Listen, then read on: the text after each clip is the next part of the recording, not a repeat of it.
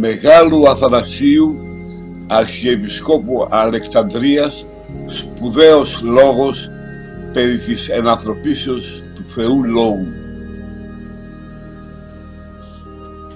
και της διασώματος προς εμάς επιφανίας αυτού δόξα κοινήν λυτής Κυριακής των προπατώρων. Βολίδες αστράπτοντες, θεηγορίες οι μεγαλώνυμοι τροφείτε, οι σαΐ μακαρίζονται και τα έπι του πνεύματος καρπούμενοι, την ανερμήνευτον λοχίαν Χριστού του Θεού πάσιν εκήρυξαν. Νομίμως δε το τέλος διήνυσαν ζήσαντες ζωήν υπερθαύμαστον. Άκουε ουρανέ και ενωτίζουν η γη. Ιδού γαροϊός και λόγος του Θεού και πατρός πρόηση τεχθήνε. Εκκόρης απειράνδρου. Ευδοκία του φύσαντος αυτών απαθός και συνεργία του Αγίου Πνεύματος. Βυθλέεν ευτρεπίζουν. Άνοιγε πύληνη εδέν ότι ο όν γίνεται ο ειν και ο πλαστουργός πάσης κτήσεως διαπλάτεται ο παρέχον το μέγα έλεος. Ο λόγος αυτός όπως και ο κατά ειδόλων γράφτηκε περί τα έτη 317-319 μετά Χριστόν. Σε αυτόν εξετάζεται το μεγάλο γεγονός της αρκώσεως του ασάρκου λόγου, άσαρκου λόγου του Θεού, δηλαδή του Ιού του Θεού, του δευτέρου προσώπου της Αγίας Τριάδος. Στο πρώτο μέρος του λόγου αναλύεται ο διπλός σκοπός της ενανθρωπίσεως του λόγου. Α, η επιστροφή της ανθρωπότητος στην κατάσταση της αθανασίας που απολέστηκε λόγω του προπατολικού αμαρτήματος και β, η απόδοση στους ανθρώπους της ικανότητας να γνωρίζουν τον αληθινό Θεό. Στο δεύτερο μέρος του λόγου περιγράφει τα μέσα με τα οποία επιτυγχάνεται ο διπλός σκοπός της ενανθρωπίσεως. Είναι τα θαυμαστά έργα του Χριστού, ο θάνατος και η Ανάστασή του.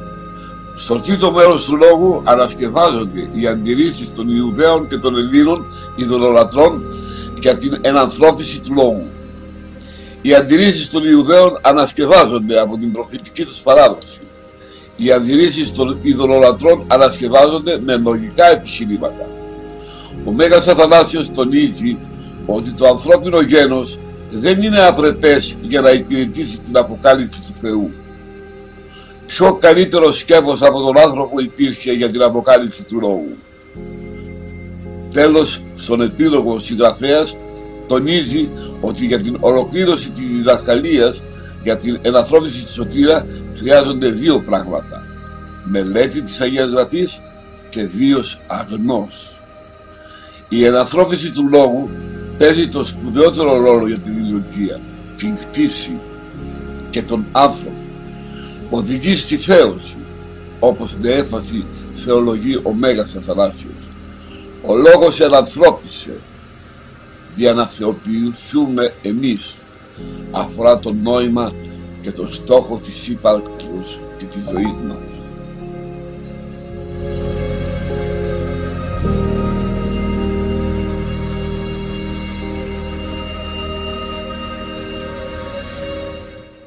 Λόγος περί της ενανθρωπίσεως του Θεού λόγου και της διασώματος προς θυμάς επιφανίας αυτού.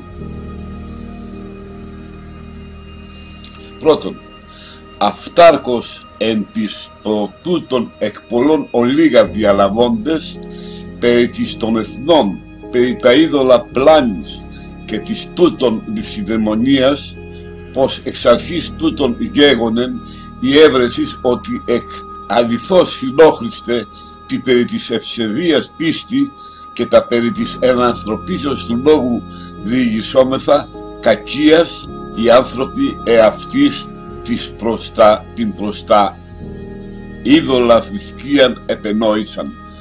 Αλλά γαρ χάρη τη Θεού σημάναντες ολίγα και περί της θεότητος του λόγου του Πατρός και της εις πάντα προνοίας και δυνάμεως αυτού και ότι ο αγαθός πατήρ τούτο τα πάντα διακοσμεί και τα πάντα υπ' αυτού κινείται και εν αυτό ζωοποιείται. Φέρε κατά ακολουθία μακάριε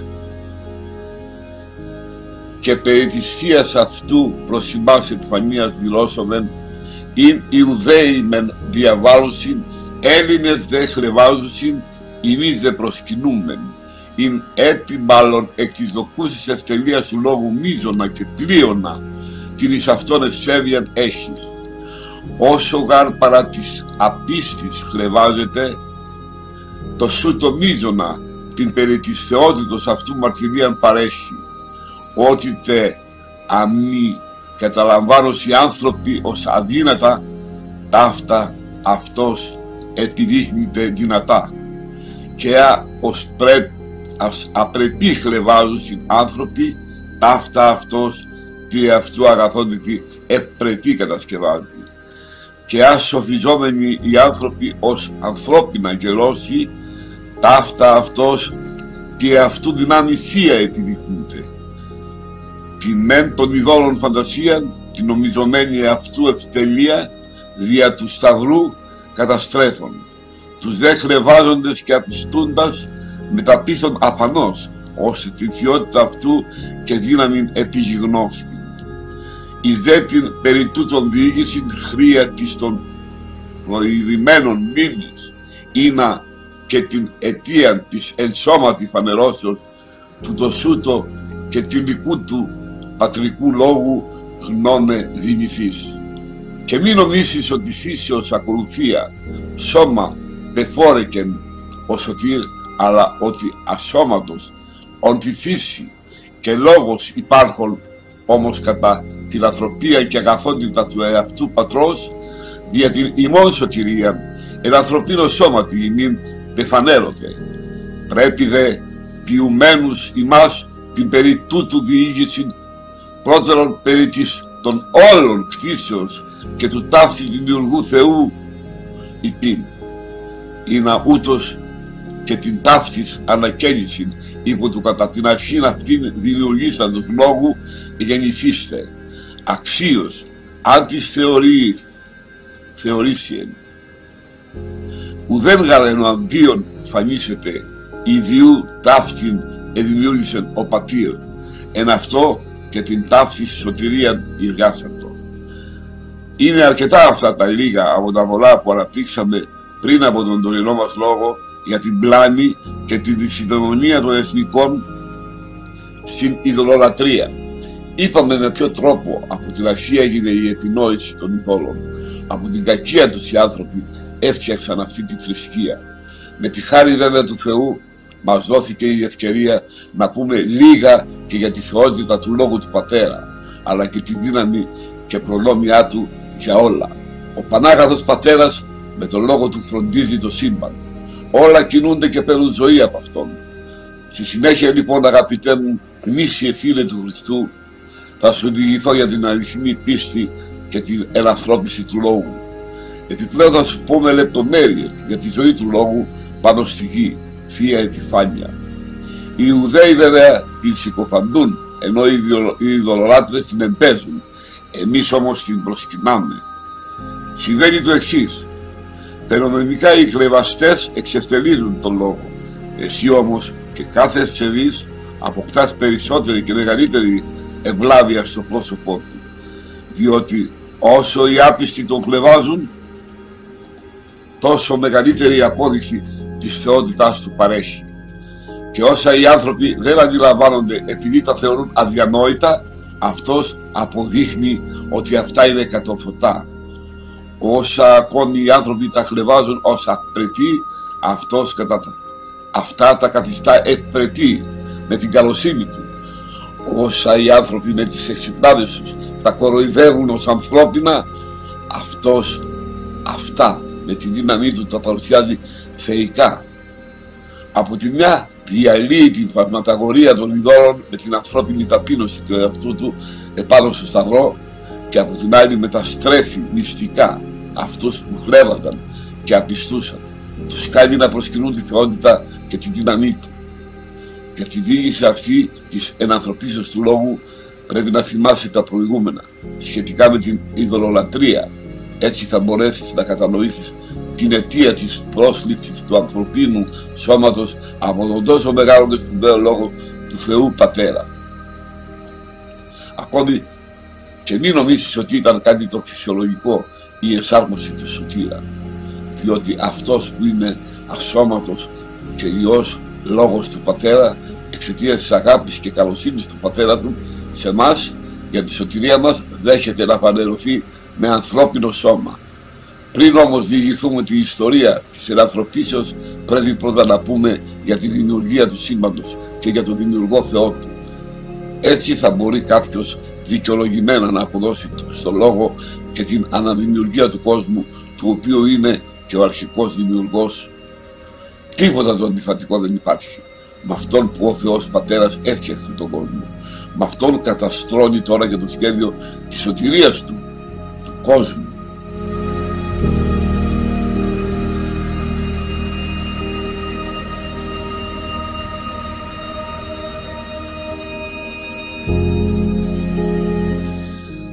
Δεύτερον, τη δημιουργία του κόσμου και την των πάντων κτίσιν πολύ διαφόρος εξελίφαση και ως έκαστος η θέλησεν ούτως και ορίσατο.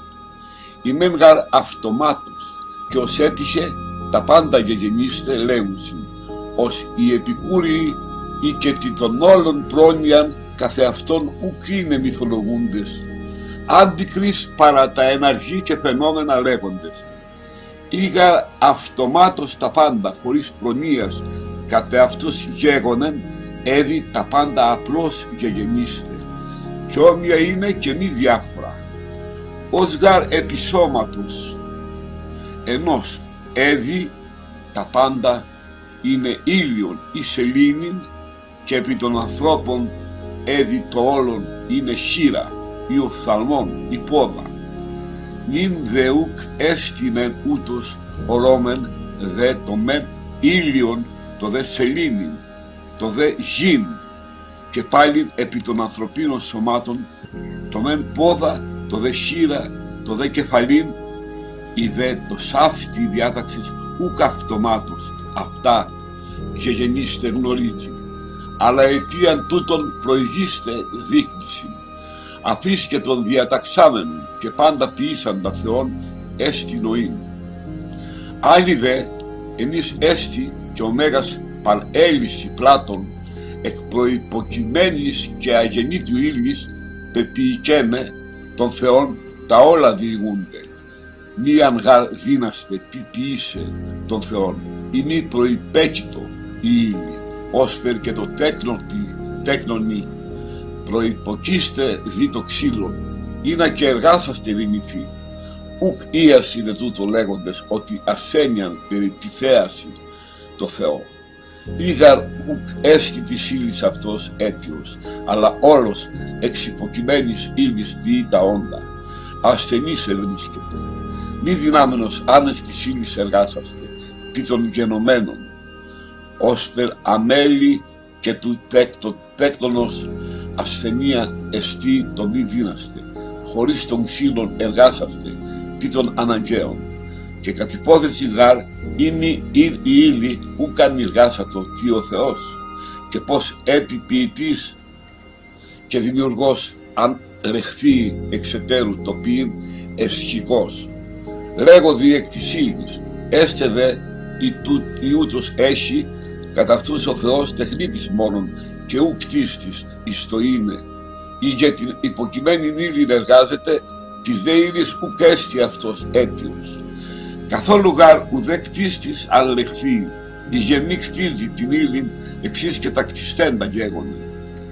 Ιδέα από των αιρέσεων άλλων εαυτής αναπλάττονται δημιουργών των πάντων παρά τον πατέρα του Κυρίου ημών Ιησού Χριστού τυφλόκτοντες μέγα και περί αυθέγγονται. Του γάρ Κυρίου λέγοντος προς τους Ιουδαίους ουκ ανέγνωτε ότι απαρχής ο κτήσας άρθεν και φίλοι επίησεν αυτούς και είπεν έδεκεν τούτου καταλήξει άνθρωπος τον πατέρα και τη μητέρα αυτού και προσκοληθήσετε τη γυναική αυτού και έσονται οι δύο η σάρκα μία. Ήτα σημαίνον τον κτίσαντα φύση ούν ο Θεός συνέδευσεν άνθρωπος μη χωριζέν. Πώς ούτε ξένην του πατρός την φύση εισάγωσιν η δέκατα των Ιωάννην πάντα περιλαμβάνοντα και λέγοντα πάντα δι' αυτού εγένετο και χωρίς αυτού εγένετο ουδέν εν. Πώς άλλος ή ο δημιουργός παρά τον πατέρα του Χριστού. Πριν όμως διηγηθούμε την ιστορία της ενανθρωπίσεως, πρέπει πρώτα να πούμε για τη δημιουργία του σύμπαντος και για τον δημιουργό Θεό του.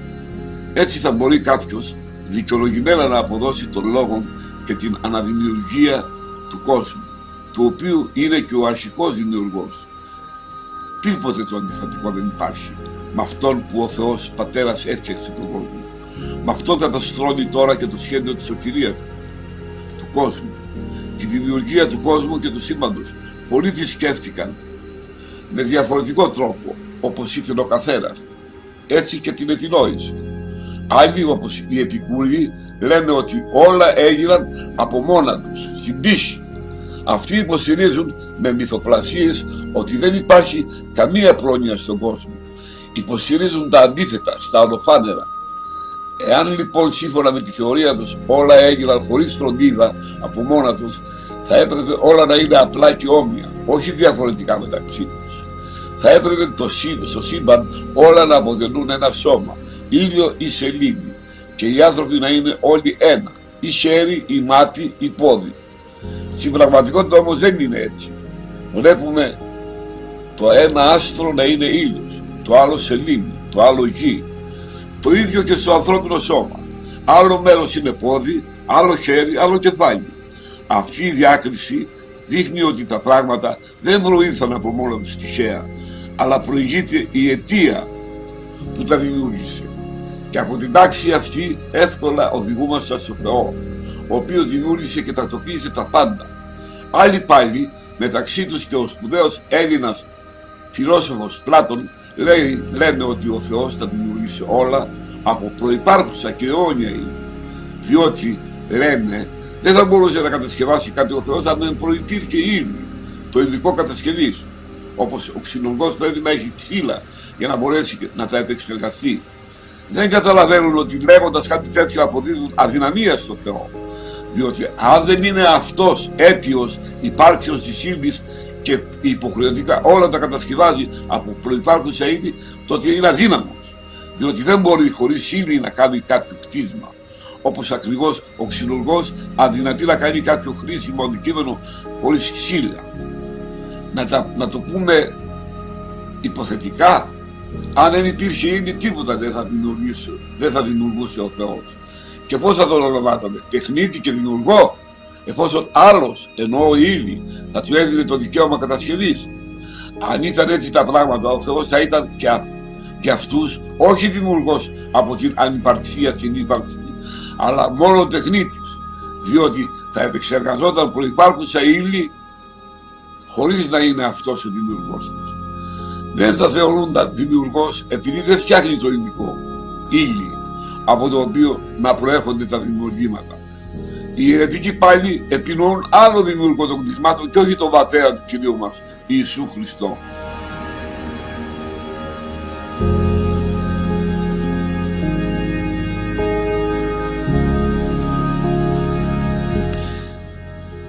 Τρίτον, ταύταμεν ούτρι μυθολογούσι. Η δε ένθεος διδασκαλία και η κατά Χριστόν πίστης την μεν τούτον ματαιολογίαν ως αθεότητα διαβάλλει. Ούτε γαρ αυτομάτως διατομή απρονόητα είναι, ούτε εκ προϋποκειμένης ύλης διατομή ασθενή είναι των Θεών, αλλά εξούκ όντων και μηδαμή μηδαμός υπάρχοντα τα όλα εις το είναι πεποιηκένε των Θεών, δια του λόγου είδε. Η φυσή διαμέν Μωυσέως εν αρχή επίησεν ο Θεός των ουρανών και την γην, δια δε της ωφελημωτά της γύβνου του ποιμένος, πρώτον πάντων πίστευσαν ότι εις έστειλε ο Θεός, ότι τα πάντα κτίσας και καταρτήσας και ποιήσας εκ του μη όντως εις το είναι. Όπε δε και ο Παύλος σημαίνουν φυσί. Πίστη νοούμεν καταρτίστε του αιώνας ρήμα του Θεού. Εις το μη εκφαινομένων τα βλεπόμενα γεγονέμε, ο Θεός αγαθός εστί. Μάλλον δεν πηγή της αγαθότητος υπάρχει. Αγαθό δε πυριουδονός, αν γέννη το φθόνος. Όθεν ουδενή του είναι φωνήσα. Εξούκ όντων τα πάντα πεποίηκε δια του ιδίου λόγου του, Κυρίου ημών Ιησού Χριστού. Εμείς προπάντων των επιγής των ανθρώπων γένος ελεήσας και θεωρήσας ως ούχ ικανόν ή κατά των της ιδίας γενέσεως λόγων διαμένει αΐ. Πλέον τι χαριζόμενος αυτής, ούχ απλώς ώστε πάντα τα επιγής άλογα, ζώα, έκτισε τους ανθρώπους, αλλά κατά την εαυτού εικόνα επίησε αυτούς, μεταδός αυτής και της του ιδίου λόγου δυνάμεως, είναι ως σκιάς κοινάς έχοντες του λόγου και γενόμενη λογική διαμένη εν μακαριότητη δημηθός. Δον ζώντες των αληθινών και όντως των Αγίων εν παραδείσο βίο. Ιδός δε πάλι των ανθρώπων εις ανθότερα νεύην δυναμένη προαίρεση, προλαβών εισφαλίσα τον νόμο και τόπο την δοθήσαν αυτής χάρη. Εις τον εαυτού γάρ παράδεισον αυτούς εις αγαγών έδωκεν αυτής νόμο, Είμα ημέν φυλάξε, φυλάξε τη χάρη και μένιαν καλή έχωση την εν παραδείσο άλυτον και ανώδυνον και αμέρινον ζωήν προς το και της εν ουρανής αυθαρσίας αυτούς την επαγγελία έχει. Οι δε παραβέν και στραθέντες γέννητο, παύλοι γινώσκιεν εαυτούς την εν θανάτω κατά φύσιν θωράν υπομένην και μικέτη μεν εν παραδείσου την έξοδε τούτου λοιπόν αποφνίσκοντας μένην εν το θανάτου και εν τη φθορά.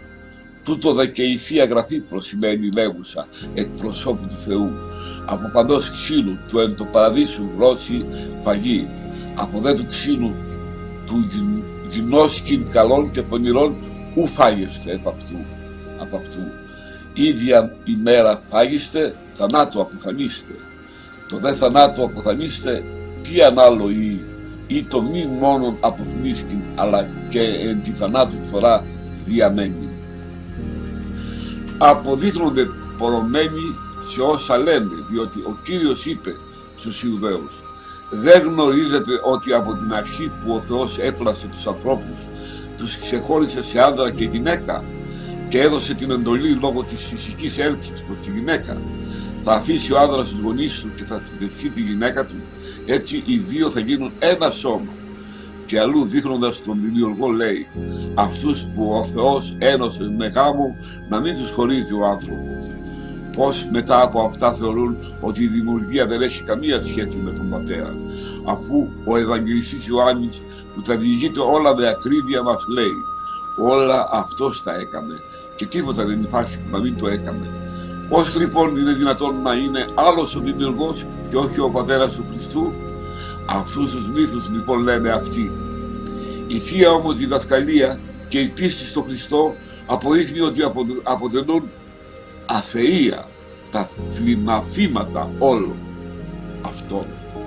Τα κτίσματα δεν προήλθαν από μόνα τους, επειδή δεν έγιναν χωρίς πρόνοια, ούτε έγιναν από προϋπάρχουσα ύλη επειδή ο Θεός δεν είναι ανίκανος να κάνει κάτι τέτοιο. Γνωρίζει καλά η Θεία Διδασκαλία ότι όλα δημιουργήθηκαν από το μηδέν. Τα έφερε ο Θεός από την ανυπαρξία στην ύπαρξη με τον λόγο του. Το λέει ο Μωυσής στην αρχή εδημιούργησε ο Θεός τον ουρανό και τη γη. Μας οδηγείται και το πολύ ωφέλιμο βιβλίο του Πνένα. Πάνω απ' όλα πίστεψε ότι ο Θεός είναι ένας. Είναι Αυτός που όλα τα δημιούργησε και τα έβαλε σε τάξη. Αυτός που τα έφερε στην ύπαρξη από το μηδέν. Αυτό δηλαδή σημαίνει και ο Παύλος λέγοντας με την πίστη κατανοούμε ότι οι αιώνες δημιουργήθηκαν με τον Λόγο του Θεού ώστε όσα βλέπουμε να μην έχουν γίνει από αυτά που φαίνονται.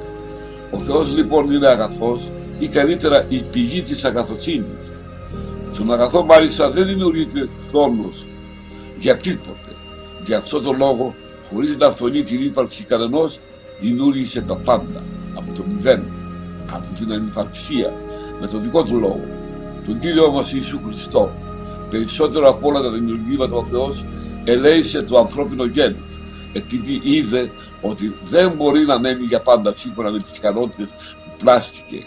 Χάρισε στους ανθρώπους περισσότερα χαρίσματα. Τους έπλασε, όχι με απλό τρόπο όπως τα άλογα ζώα, αλλά να αποτελούν δική του εικόνα. Τους μετέδωσε τη δύναμη του δικού του λόγου, έτσι να έχουν πάνω τους σαν σκιές εκτυπώματα του λόγου και να γίνουν λογικοί, να μπορούν να φτάσουν στην ευτυχία, ζώντας τον αληθινό και όντως παραδεισένια ζωή των Αγίων. Επειδή πάλι ο Θεός γνώριζε ότι η θέληση των ανθρώπων έχει τη δύναμη να κλείνει και προς τα δύο, πρόλαβε και εξασφάλισε με νόμο και τόπο τη χάρη που τους έδωσε. Τους έβαλε δηλαδή στον παράδεισο και τους έδωσε νόμο να τήρουν, ώστε αν φυλάξουν τη χάρη και παραμείνουν καλοί, θα απολαμβάνουν στον παράδεισο αμέλινη ζωή, χωρίς λύπες και πόνους και επιπλέον θα έχουν και την υπόσχεση ότι θα γευθούν την ουράνια αυθαρθία. Εάν όμως παραμούν τον λόγο και γίνουν κακοί, με την απομάκρυνση από τον Θεό να γνωρίζουν ότι θα υποστούν τη φυσική φθορά του θανάτου. Δεν θα ζουν πλέον στον παράδεισο. Θα πεθαίνουν έξω από αυτόν και θα παραμένουν στο θάνατο και τη φθορά. Αυτό το επεσήμανε εκ των προτέρων και η Αγία Γραφή στους πρωτοπλάστους αναφέροντας τα λόγια του Θεού. Έχετε άδεια να τρώτε από τους καρπούς κάθε δέντρου στον παράδεισο. Δεν θα φάτε μόνο από το δέντρο της γνώσεως, του καλού και του κακού. Την ημέρα που θα φάτε από αυτό θα πεθάνετε. Η φράση θα πεθάνετε δεν δηλώνει μόνο το θάνατο, αλλά και την αιώνια παραμονή στη φθορά του θανάτου.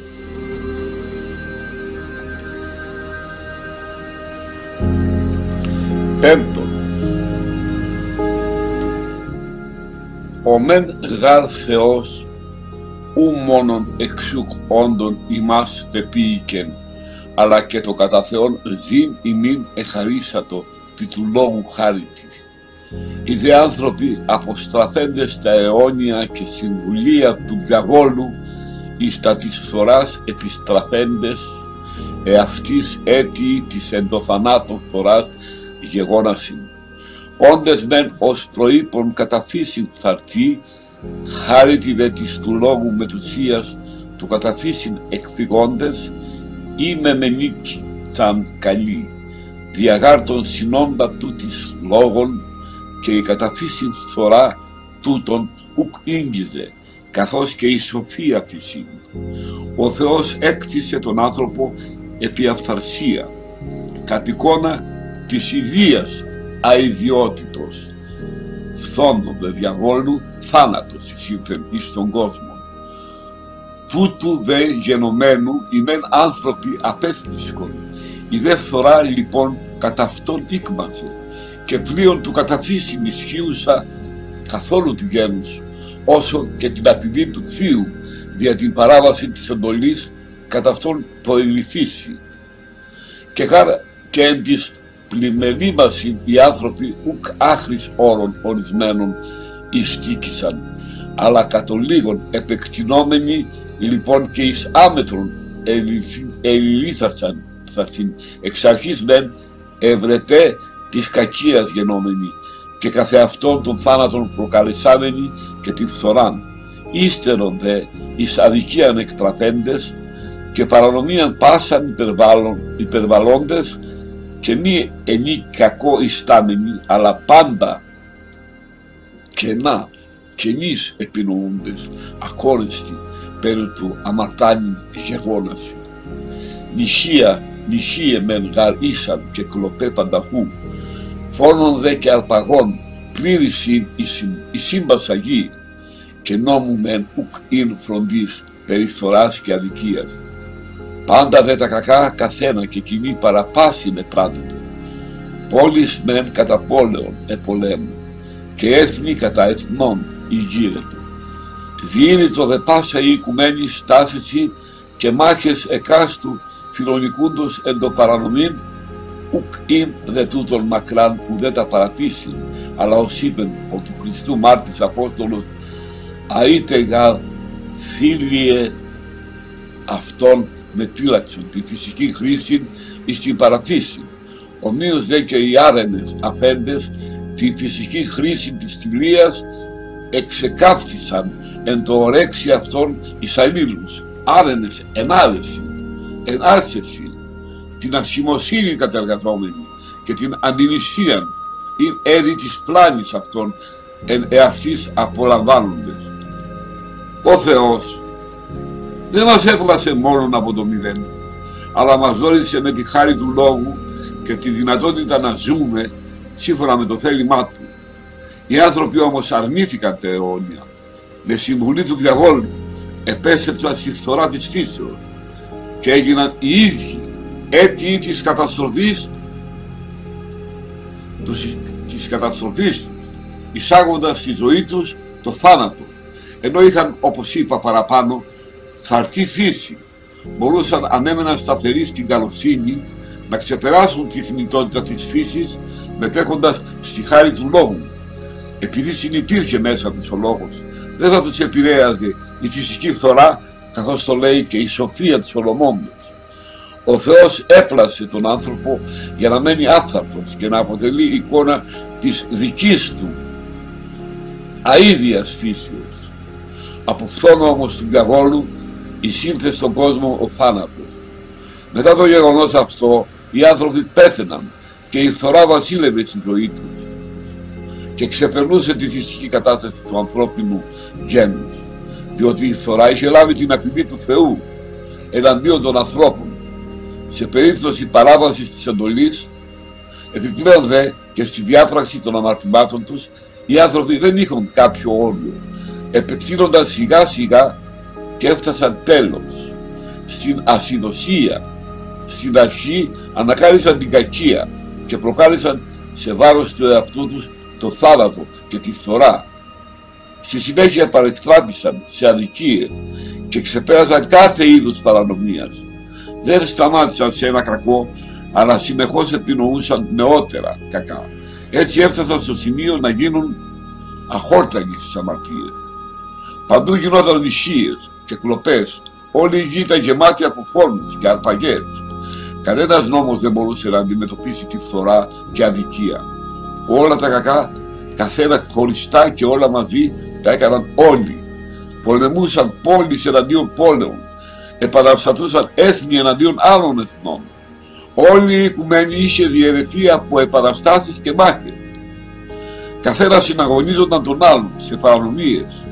Δεν τους ήταν άγνωστες ούτε οι παραφύσιοι καταστάσεις όπως το είπε και ο μάρτυρας του Χριστού Απόστολος Παύλος. Οι γυναίκες άλλαξαν τη φυσική χρήση του σώματος, του σώματός τους, σε παρατήσεις. Το ίδιο και οι άντρες άφησαν τη φυσική σχέση με τις γυναίκες και στράφησαν με πάθος να επιθυμούν τους ομοφύλους τους άντρες με άντρες διαπράττουν διαστροφικές ασχήμιες. Πληρώνονται όμως στον ίδιο τους τον εαυτό το αντίτιμο της διαστρο... διαστροφικής ζωής τους.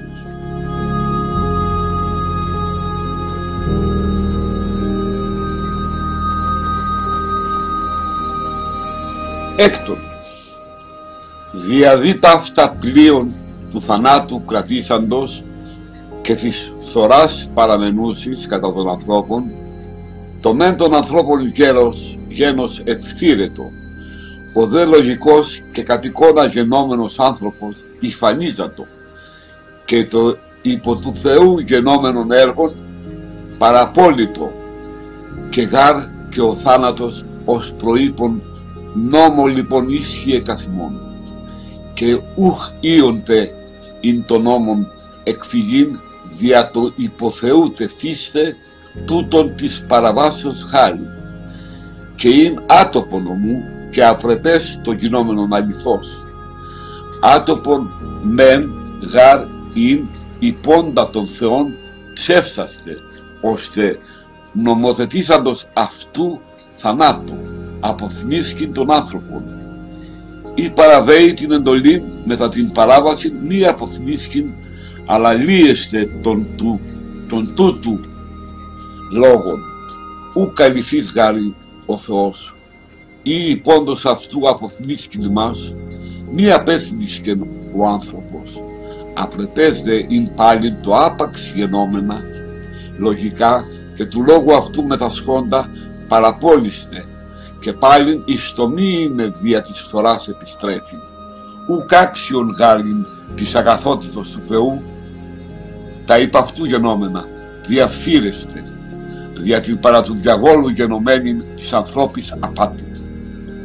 Άλλωστε και των απρεπεστάτων ειν την του Θεού τέχνην εν της ανθρώπης αφανίζεστε η δια την αυτόν αμέλεια, η δια την των δαιμόνων απάτη, θυρωμένων κίνην των λογικών και παραπολιμένων των τιούτων έργων τι των Θεών έδιπη αγαθών όντα. Αφήνε τη φθοράν κατά αυτόν ισχύει και τον θάνατο αυτόν κρατεί και τις η χρία του και εξ αρχής αυτά γενέστε. Έδιγαρ μη γενέστε ή γενόμενα παρανεμηθήνε και απολέστε. Ασθένεια γαρ μάλλον και ούκ αγαθότης εκ της ανελίας γινώσκεται του Θεού. Ή ποιήσας παρορά θα είναι το εαυτού έργον υπέρ ή μη πεποιήκη κατά την αρχή των άνθρωπων. Μη ποιήσαντος μεν γαρ ούκιν ολογιζόμενος στην ασθένεια, ποιήσαντος δε και εις το είναι εκτίσαντος. Ατοπότατον ειν απονείστε τα έργα και μάλιστα επόψη του πεποιηκότος. Ουκούν έδι τους ανθρώπους μη αφιέμε φέρεστε τη φθορά, δια το επρεπές και ανάξιον είναι τούτο της του Θεού αγαθότητος. Επειδή λοιπόν κυριάρχησε ο θάνατος και η φθορά παρέμενε στη ζωή των ανθρώπων, το ανθρώπινο γένος χανόταν. Ο λογικός και κατ' εικόνα Θεού πλασμένος άνθρωπος καταστραφόταν. Έτσι το έργο του Θεού που γινόταν οδηγούνταν στην απώλεια, διότι και ο θάνατος, όπως προείπα, είχε ισχύ νόμου σε βάρος μας και δεν μπορούσε κανείς να ξεφύγει το νόμο που τον είχε θεσπίσει ο Θεός εξαιτίας της παραβάσεως των πρωτοπλάστων. Θα ήταν μάλιστα ανακόλουθο και ανάξιος στο Θεός να συμβεί κάτι τέτοιο. Θα ήταν πρώτα ανακόλουθο διότι ενώ το είπε ο Θεός στη συνέχεια αποδείχνεται ψεύτης. Δηλαδή ενώ νομοθέτησε ότι θα πεθάνει ο άνθρωπος εάν παραβεί την οντολή του στη συνέχεια μετά την παράβαση να μην πεθαίνει. Έτσι καταπατείται ο λόγος του Θεού. Δεν θα ήταν αληθινός Θεός αν έλεγε ότι θα πεθαίνουμε και δεν πεθαίναμε. Έπειτα θα ήταν και ανάξιο του Θεού, διότι τα λογικά όντα που μια φορά τα δημιούργησε ο λόγος και μετήχαν σε αυτόν να χάνονται και να επιστρέφουν πάλι μέσω της φθοράς στην ανυπαρξία. Δεν θα ήταν άξιο στην αγαθότητα του Θεού να πεθαίνουν τα πλάσματά του εξαιτίας της δόλια απάτης του διαβόλου σε βάρος των ανθρώπων. Εξάλλου θα ήταν ό,τι πιο ανάξιο να καταστρέφεται η δημιουργική τέχνη του Θεού στους ανθρώπους εξαιτίας της ανελίας τους ή εξαιτίας της απάτης των δαιμόνων. Αφού λοιπόν φύρονταν τα λογικά πλάσματα και χάρονταν τέτοια δημιουργήματα, τι έπρεπε να κάνει ο Πανάκοφος Θεός να επιστρέψει, να, τους, να, επι, να επιτρέψει να τους νικάει η φθορά και ο θάνατος να τους κυριεύει; Αλλά τότε ποια ήταν η ανάγκη να δημιουργηθούν από την αρχή; Έπρεπε καθόλου να μην δημιουργηθούν παρά να δημιουργηθούν και έπειτα να, μεταμε, να παραμερηθούν και καθούν. Διότι είναι μεγαλύτερη η αδυναμία του Θεού και η έλλειψη αγαθοσύνης αν δημιουργεί πρώτα ένα έργο και το αφήνει μετά από αμέλεια να κατασταθεί παρά αν εξ αρχής δεν τον δημιουργούσε. Αν δεν τον δημιουργούσε δεν θα του καταλόγιζε κανείς αδυναμία. Αφού όμως το δημιούργησε και το έφερε στην ύπαρξη είναι υπερβολικά παράλογο να καταστρέφεται και μάλιστα μπροστά στα μάτια Έπρεπε λοιπόν να μην αφήσει τους ανθρώπους να βαδίσουν στην απώλεια επειδή κάτι τέτοιο είναι απρεπές και ανάξιο στην αγαθοσύνη του Θεού.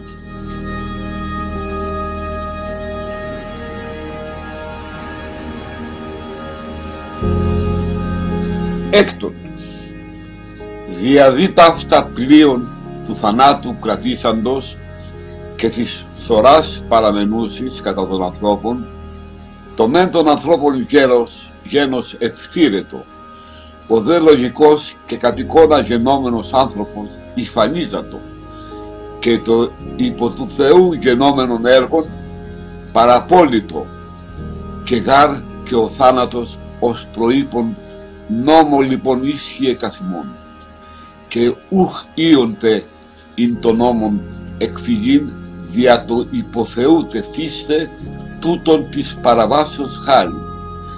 Και ειν άτοπο νομού και απρεπές το γινόμενον αληθώς άτοπον μεν γάρ ειν υπόντα των Θεών ψεύσαστε ώστε νομοθετήσαντος αυτού θανάτου αποθυμίσκει τον άνθρωπο ή παραβέει την εντολή μετά την παράβαση μη αποθυμίσκει αλλά λύεστε τον, του, τον τούτου λόγων. Ου καλυφείς γάρι ο Θεός ή υπόντος αυτού αποθυμίσκει μας μη απέθυμίσκει ο άνθρωπος. Απρεπές δε ειν πάλι το άπαξ γενόμενα. Λογικά και του λόγου αυτού με τα σχόντα παραπόλυστε και πάλι η στομή είναι δια της φθοράς επιστρέφει. Ουκ άξιον γάριν της αγαθότητος του Θεού. Τα είπα αυτού γενόμενα διαφύρεστε δια την παρά του διαγόλου γενομένη της ανθρώπης απάτη άλλωστε και των απρεπεστάτων ειν την του Θεού τέχνη εν της ανθρώπης αφανίζεστε η δια την αυτόν αμέλεια η δια την των δαιμόνων απάτη θυρωμένων κίνην των λογικών και παραπολιμένων των τιούτων έργων και των Θεών έδιπη αγαθών όντα. Αφήνε την φθοράν κατά αυτόν ισχύει και τον θάνατο αυτόν κρατεί και της η χρία του και εξ αρχής αυτά γενέστε. Έδιγαρ μη γενέστε ή γενόμενα παρανεμηθήνε και απολέστε ασθένεια γαρ μάλλον και ούκ αγαθότης, εκ της ανελίας γινώσκεται του Θεού. Ή ποιή σας παρορά θαρρύνε το εαυτού έργον υπέρ ή μη πεποιήκη κατά την αρχή των άνθρωπων. Μη ποιήσαντος μεν γαρ ούκιν ολογιζόμενος στην ασθένεια, ποιήσαντος δε και εις το είναι εκτίσαντος.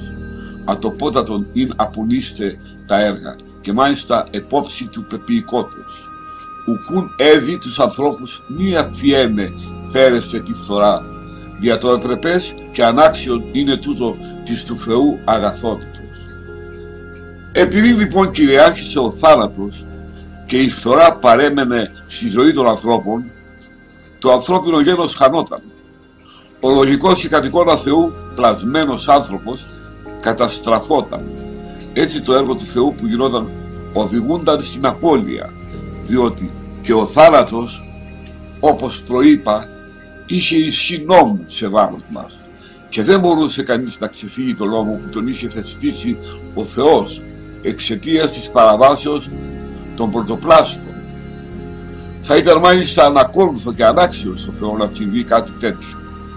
Θα ήταν πρώτα ανακόλουθο διότι ενώ το είπε ο Θεός στη συνέχεια αποδείχνεται ψεύτη Δηλαδή, ενώ νομοθέτησε ότι θα πεθάνει ο άνθρωπος εάν παραβεί την οντολή του στη συνέχεια μετά την παράβαση να μην πεθαίνει.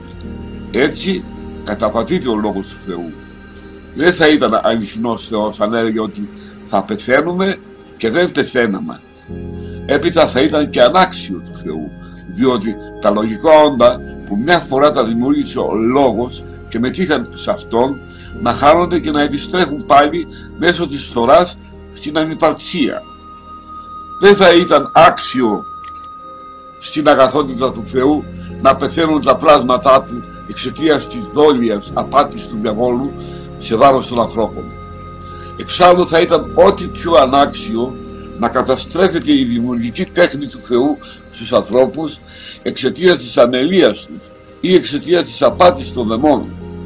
Αφού λοιπόν φύρονταν τα λογικά πλάσματα και χάρονταν τέτοια δημιουργήματα, τι έπρεπε να κάνει ο Πανάγωθος Θεός; Να επιστρέψει, να, τους, να, επι, να επιτρέψει, να τους νικάει η φθορά και ο θάνατος να τους κυριεύει; Αλλά τότε ποια ήταν η ανάγκη να δημιουργηθούν από την αρχή; Έπρεπε καθόλου να μην δημιουργηθούν παρά να δημιουργηθούν και έπειτα να, μεταμε, να παραμερηθούν και καθούν διότι είναι μεγαλύτερη η αδυναμία του Θεού και η έλλειψη αγαθοσύνης αν δημιουργεί πρώτα ένα έργο και το αφήνει μετά από αμέλεια να καταστραφεί παρά αν εξ αρχής δεν τον δημιουργούσε.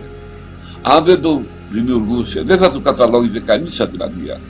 Αφού όμως το δημιούργησε και το έφερε στην ύπαρξη είναι υπερβολικά παράλογο να καταστρέφεται και μάλιστα μπροστά στα μάτια. Έπρεπε λοιπόν να μην αφήσει τους ανθρώπους να βαδίσουν στην απώλεια επειδή κάτι τέτοιο είναι απρετές και ανάξιο στην αγαθοσύνη του Θεού.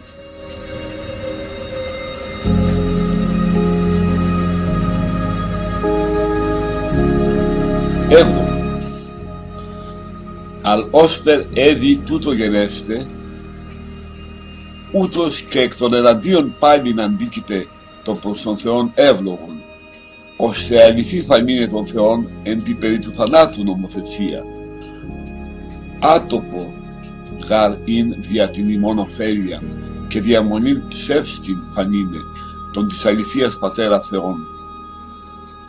Τι ουνέδη και περί τούτου γενέστε, ή ποιήσε των Θεών, μετάνιαν επί την παραβάση τους ανθρώπους απατήσε, τούτο γάραν της άξιο φύση Θεού λέγον ότι ως εκ της παραβάσεως εις φθοράν γεγόνασιν, ούτως εκ της μετανοίας γέννητο, πάλιν αν εις αυταρσία.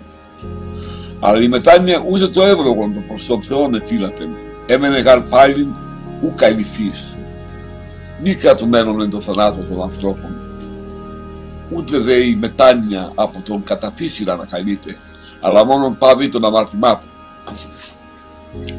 Είμαι μόνο ειν πλημέλημα και μη φοράς επακολούθησης καλός αν ειν η μετάνοια. Η διάταξη προλαβούσης της παραβάσεως εις την καταπίστην φοράν εκρατούνται οι άνθρωποι και την του κατοικώνα χάριν απερεθέντες ήσαν. Τι άλλο έδιγενέστε, ή τίνος τη χρία προς την διάφτη χάριν και ανάκληση, ή του και κατά την αρχήν εκ του μη όντως πεποιηκότος τα όλα του Θεού, του Θεού λόγου αυτού γάριν πάλιν και το φθαρτόν εις αυθαρσίαν ενεγκύν και το υπερπάντων εύλογον αποσώσε προς τον πατέρα. Λόγος γάρων του πατρός και υπερπάντας όν, ακολούθως και ανακτήσε τα όλα μόνος συν δυνατός και υπερπάντων παθήν και πρεσβεύσε περί πάντων ικανός προς τον πατέρα. Αλλά όπως έπρεπε αυτό να γίνει έτσι και από την άλλη πλευρά στέκεται αντίθετη η δικαιοσύνη του Θεού για να αποδειχθεί αξιόπιστη η νομοθεσία του σχετικά με την ποινή του θανάτου. Θα ήταν σκάνδαλο εξαιτίας της δικής μας ωφέλειας και αυταρχίας να φανεί ψεύτης ο πατέρας, ο Θεός της αληθείας. Τι λοιπόν έπρεπε να γίνει σχετικά με αυτό, τι να κάνει ο Θεός, να ζητήσει από τους ανθρώπους μετάνοια για το σφάλμα του, γιατί κάτι τέτοιο θα έλεγε κανείς ότι είναι αντάξιο του Θεού διότι όπως η παράβαση οδήγησε τους ανθρώπους στη φθορά, έτσι και η μετάνοια θα τους οδηγούσε πάλι στην αυθαρσία. Η μετάνοια όμως δεν θα δικαιολογούσε την αξιοπιστία του Θεού. Θα φαινόταν και πάλι ψεύτης, επειδή δεν θα καταδικάζονταν σε θάνατο οι άνθρωποι. Άλλωστε η μετάνοια δεν επαναφέρει τη φύση στην πρώτερη κατάστασή της, αλλά μόνο σταματά τις αμαρτίες. Εάν λοιπόν ήταν μόνο ένα μάρτυμα και όχι και επιπλέον φθορά της φύσεως, αρκούσε η μετάνοια, εφόσον όμως κατά την πρώτη παράβαση αμέσως οι άνθρωποι υποδουλώθηκαν στη φθορά της φύσεως και τους αφαιρέθηκε το χάρισμα του κατοικώνα, τότε τι άλλο έπρεπε να γίνει; Ή ποιος άλλος θα μπορούσε να τους επαναφέρει σε αυτό το χάρισμα παρά ο Θεός λόγος που έπλασε εξ αρχής τα πάντα από το μηδέν. Αυτός ήταν ο μόνος ικανός και το σταρτό να τον οδηγήσει πάλι στην αθαρσία και να αποκαταστήσει την αξιοπιστία του πατέρα, διότι είναι ο λόγος του πατέρα και όλους τους ξεπερνά. Επομένως, μόνον αυτός μπορεί να τα ξαναδημιουργήσει όλα, να θυσιαστεί και να μεσητεύσει στον πατέρα για όλους.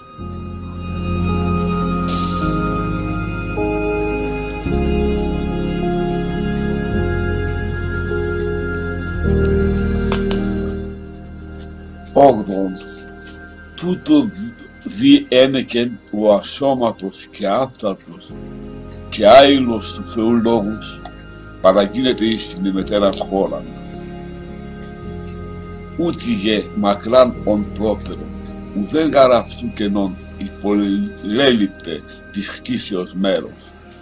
Πάντα δε διαπάντων πεπλήρωκεν αυτός, συνόν το εαυτού πατρί, αλλά παραγίνεται συγκαταβαίνον τι εις ημάς αυτού φιλανθρωπία και επιφανία.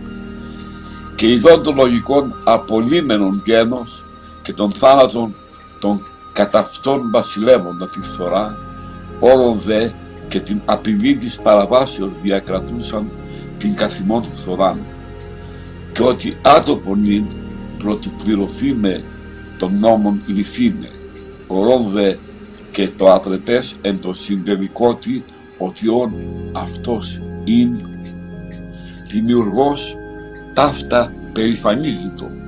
Ορόν δε και την των ανθρώπων υπερβάλλουσαν κακίαν ότι κατ' ολίγων και αφόρητον αυτήν ύφηξαν καθεαυτόν ορόν δε και το υπεύθυνον πάντων ανθρώπων προς τον θάνατον.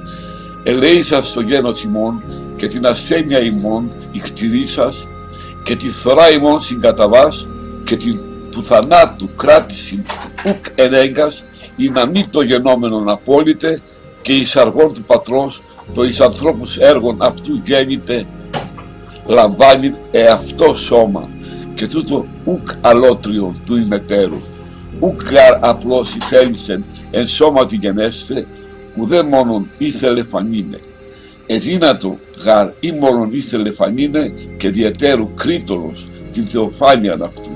Ποιήσαστε. Αλλά λαμβάνει το ημέτερον και τούτο ουχ απλώς αλλά εξαχράντου και αμοιάντου ανδρός απείρου παρθένου καθαρών και όντως αμυγές της ανδρών συνουσίας.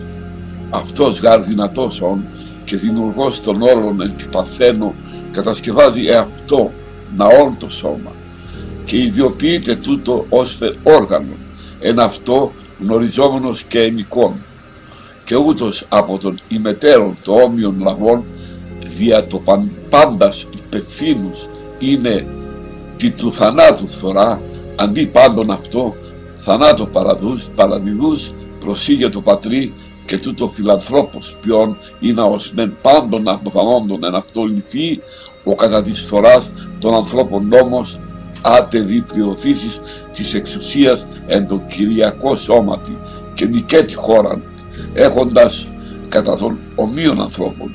Ως δε εις φθοράν αναστρέψαντας τους ανθρώπους πάλι εις αυθαρσίαν επιστρέψει και ζωοποιήσει τούτους από τους θανάτους και του σώματος ιδιοποίηση και της, της, της Αναστάσεως χάρητη των θάνατων από αυτόν ως καλάμιν από πυρός εξαφανίζουν. Γι' αυτόν τον λόγο λοιπόν ο ασώματος άφθαρτος και άειλος λόγος του Θεού έρχεται στη γη μας χωρίς βέβαια και πριν να είναι μακριά από εμάς διότι δεν είναι από, από κανένα σημείο του κόσμου. Συνυπάρχοντας ο λόγος με τον πατέρα, με τον πατέρα του, γεμίζει εξ ολοκλήρου όλα τα σύμπαντα και ταυτόχρονα έρχεται να εμφανιστεί και σε εμάς από συγκατάβαση εξαιτίας της αγάπης του για τους ανθρώπους είδε ο λόγος ότι καταστρεφόταν το λογικό γένος των ανθρώπων και κυριαρχεί πάνω τους με τη φθορά ο θάνατος. Είδε ότι η απειλή για την παράβαση ενίσχυε τη φθορά πάνω μας. Είδε ότι ήταν αδύνατο να καταργηθεί η φθορά και ο θάνατος. Προτού ξεπληρωθεί η ποινή του νόμου. Είδε ακόμη και το ασυνείδαστο προς τη δημιουργικότητα ότι δηλαδή ενώ αυτός δημιουργούσε τα πλάσματα καταστρεφόνταν Είδε όμως και την υπερβολική κακία των ανθρώπων ότι σιγά σιγά την άφησαν εις βάρος τους σε αβάσταχτο βαθμό. Είδε τέλος ότι όλοι οι άνθρωποι ευθύνονται για το γεγονός του θανάτου. Βλέποντας όλα αυτά, σλαχνίστηκε το ανθρώπινο γένος και λυπήθηκε και την, για την αδυναμία μας. Καταδέχτηκε τη δική μας φθορά χωρίς να υποφέρει την κυριαρχία του, του θανάτου προσλαμβάνει ανθρώπινο σώμα για τον εαυτό του και μάλιστα όχι διαφορετικό από το δικό μας, αλλά για να μην πάει χαμένος το δημιουργικό έργο του πατέρα που έπλασε τους ανθρώπους. Δεν θέλησε να προσλάβει απλά άνθρωπο, ανθρώπινο σώμα, ούτε μόνο να εμφανιστεί. Θα μπορούσε αν ήθελε απλή εμφάνιση να κάνει τη θεία εμφάνισή του με πολύ καλύτερο σώμα. Προσλαμβάνει όμως το δικό μας σώμα και αυτό όχι με φυσικό τρόπο, αλλά από το σώμα μιας αμόλυντης και ακινήτωτης παρθένου κόρης που δεν γνώρισε σύντιμο, διότι ήταν καθαρή και απείραχτη από τη σχέση με άντρας. Επειδή αυτός είναι παντοδύναμος, δημιουργός των πάντων, μέσα στο σώμα της Παρθένου φτιάχνει ως ναό το δικό του σώμα. Κάνει δικό του όργανο το σώμα της Παρθένου, το οποίο το γνωρίζει καλά και κατοικείς σε αυτό. Και έτσι, αφού πήρε σώμα όμοιο με τα δικά μας και επειδή όλοι ευθύνονται για τη φθορά του θανάτου, παρέδωσε το σώμα του να θανατωθεί για χάρη όλων.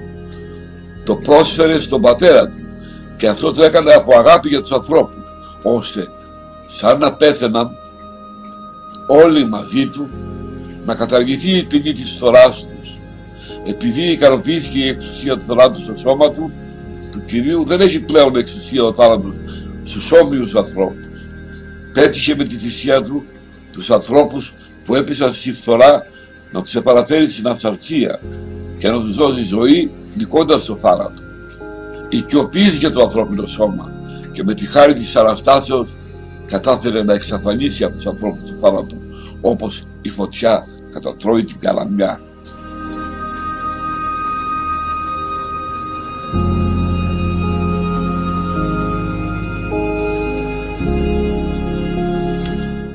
Ένατον, συνειδών γάρ ο λόγος ότι άλλος ου καλυμφθεί των ανθρώπων η φθορά είναι δια του πάντως αποφανήν ου ίοντε δεήν των λόγων αποφανήν αθάνατον όντα και του πατρός ιών τούτου η ένεκεν το δυνάμενο να αποθανεί εαυτό λαμβάνει σώμα.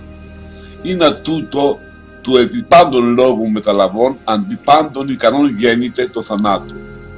Και δια των ενικήσαντα λόγων άφθαρτον διαμείνει και λοιπόν από πάντων η φορά πάυσιτε της, τη της Αναστάσεως χάρη.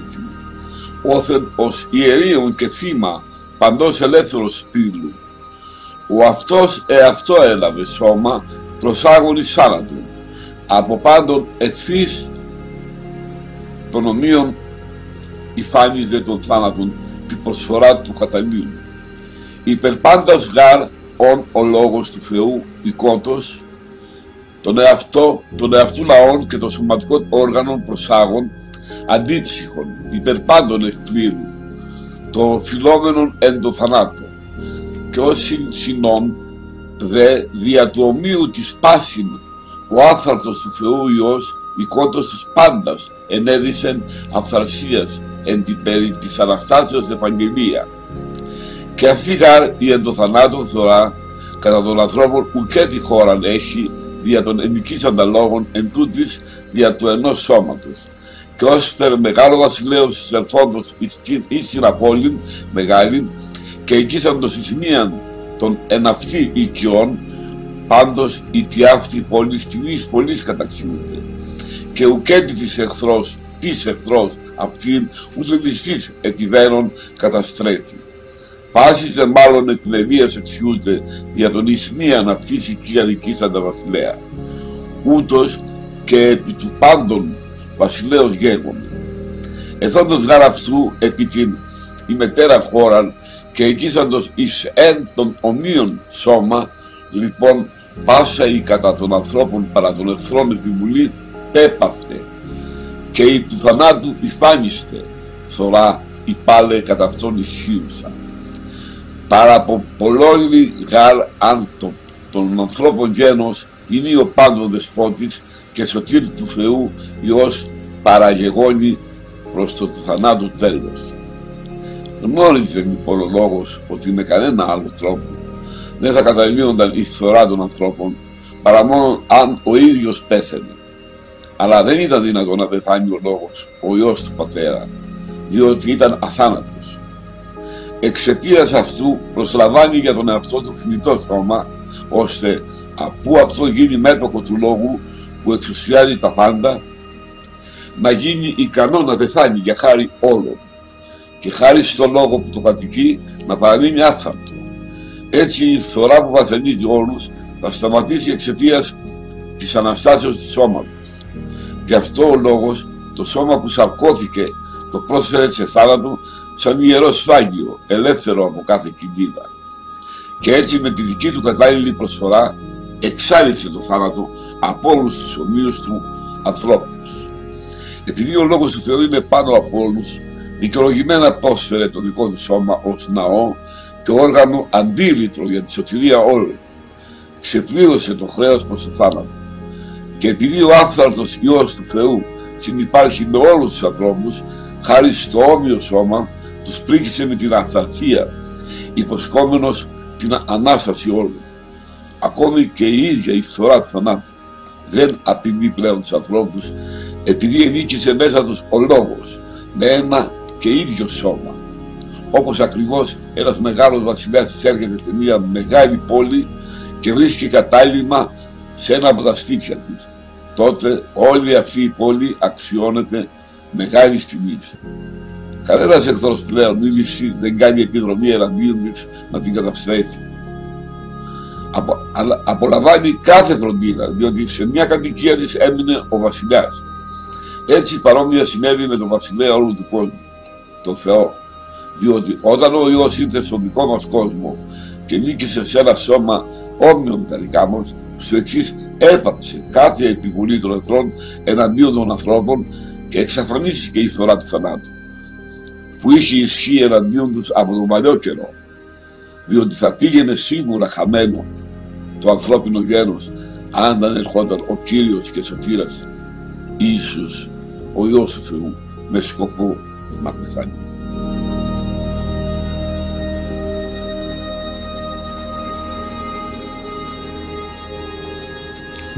Δέκατον.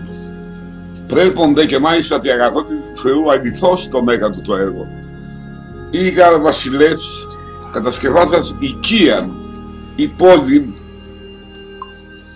και ταύτην εξαμενία των ενικών των πολεμουμένων υπολιστών το σύνολο ου παρορά, αλλά ο ίδιων έργων εκδικεί και περισσότεροι, ούκ των ενικών των αμέλειαν αναφορών, αλλά εις το εαυτού πρέπον.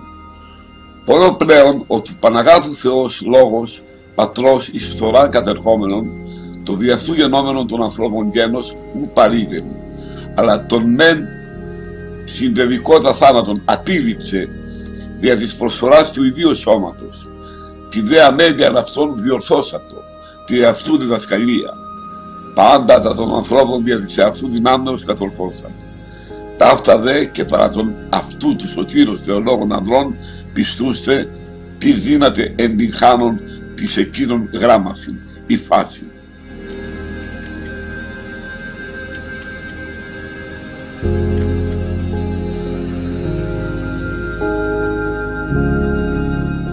Η γάρα αγάπη του Χριστού συμπέχει μας κρίνοντας τούτο ότι εις υπερπάντων απέθανεν άρα οι πάντες απέθανον και υπερπάντων απέθανεν ή να είναι νικέτη εαυτής ζώμεν αλλά το υπερημών αποθανόντι και αναστάνει εκ νεκρών το Κυρίο ημών Ιησού Χριστό και πάλι το δε βραχή τι παρά αγγέλους ηλατώμενων βλέπουμε Ιησούν δια το πάθημα του θανάτου δόξη και τιμίες επανωμένων όπως χάρη του Θεού υπερπαντός γεύσιτε θανάτου.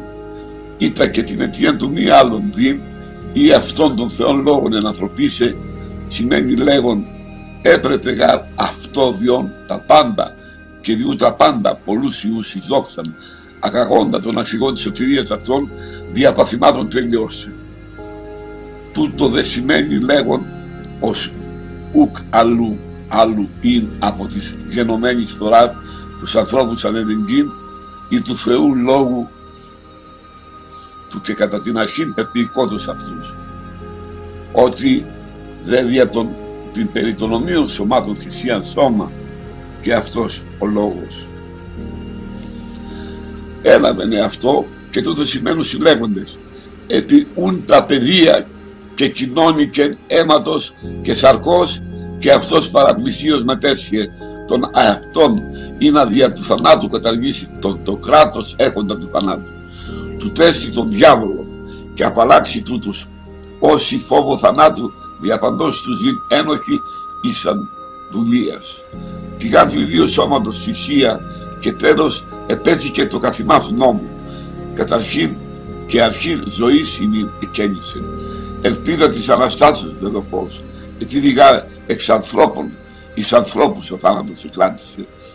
Δια τούτο πάλι δια της ενανθρωπίσεως του Θεού Λόγου ή του θανάτου κατάληξης γέγονε και η της ζωής Ανάστασης λέγοντος του Χριστοφόρου Ανδρός. Επειδή γά δια ανθρώπου θάνατος και δια ανθρώπου Ανάστασης νεκρών ως περγάρ εν του Αδάμ πάντες αποφνίσχουσιν ούτως και εν το Χριστό πάντες ζωοποιοί φύσονται και τα τούτης ακόλουθα ουκέτι γαρ νυν ως.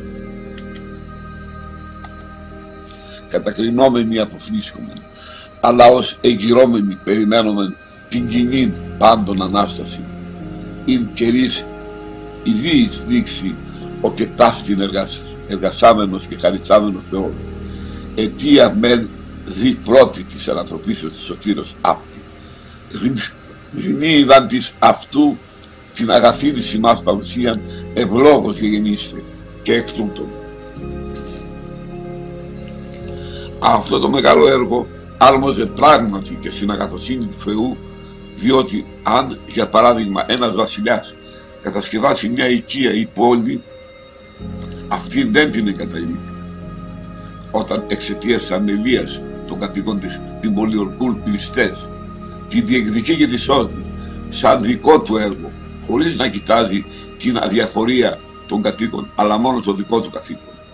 Πολύ περισσότερο ο Θεός λόγος του Παναγάθου Πατέρα δεν εγκατέλειψε το δημιούργημά του, το γένος των ανθρώπων, όταν αυτό βάλιζε προς τη φθορά, αλλά με την προσφορά του δικού του σώματος εξαφάνισε τον επερχόμενο θάνατο διόρθωσε με τη διδασκαλία του την αμέλεια των ανθρώπων και κατάφερε με τη δύναμή του να επιτελέσει όλα τα ανθρώπινα.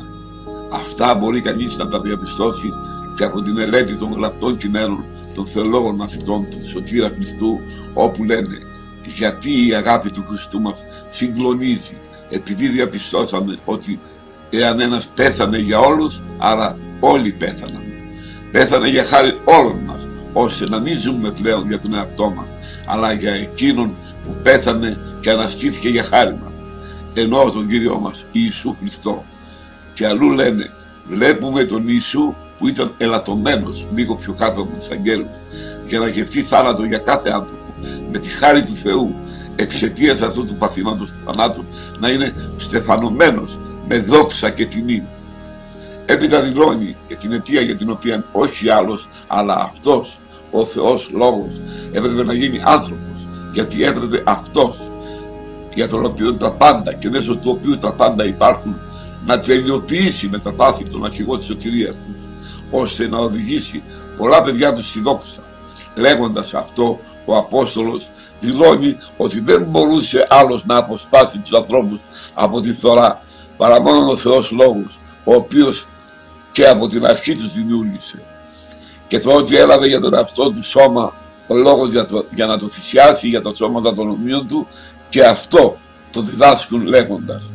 Επειδή τα παιδιά έχουν σάρκα και αίμα και αυτός παραπλήσια με τύχη από τα ίδια ώστε με το θάνατό του να καταργήσει αυτόν που είχε την εξουσία να επιφέρει το θάνατο. Δηλαδή το διάβολο και να απαλλάξει αυτούς που από το φόβο του θανάτου ήταν υποδουλωμένοι σε όλη τη διάρκεια της ζωής του διότι με τη θυσία του σώματός του κατάργησε τον εναντίον μας νόμο αφού μας έδωσε την ελπίδα της Αναστάσεως εγγενίασε για μας αρχή νέας ζωής επειδή εξαιτίας ανθρώπων ο θάνατος επικράτησε στους ανθρώπους. Γι' αυτό πάλι με την ενανθρώπιση του Θεού Λόγου καταργήθηκε ο θάνατος και ήρθε η Ανάσταση της ζωής όπως το λέγει ο Θεοφόρος Απόστολος γιατί όπως με τον άνθρωπο ήρθε ο θάνατος και πάλι με τον άνθρωπο ήρθε η Ανάσταση των νεκρών. Όπως ακριβώς έχοντας σχέση με τον Αδάμ όλοι πεθαίνουν. Έτσι και με τον Χριστό όλοι θα λάβουν τη ζωή. Και τα εξής. Τώρα πλέον Δεν πεθαίνουμε ως κατάδικοι, αλλά με την ελπίδα ότι θα αναστηθούμε. Περιμένουμε την κοινή Ανάσταση όλων. Αυτή είναι ο Θεός, την έκανε και μας τη χάρισε και θα τη φανερώσεις στον καιρό που όρισε. Αυτή είναι λοιπόν η πρώτη αιτία της ενανθρωπίσεως. Όμως και από τα επόμενα μπορεί κάποιος να εννοήσει ότι, τα, ότι δικαιολογημένα έγινε η ευλογημένη φανέρωσή του σε εμάς.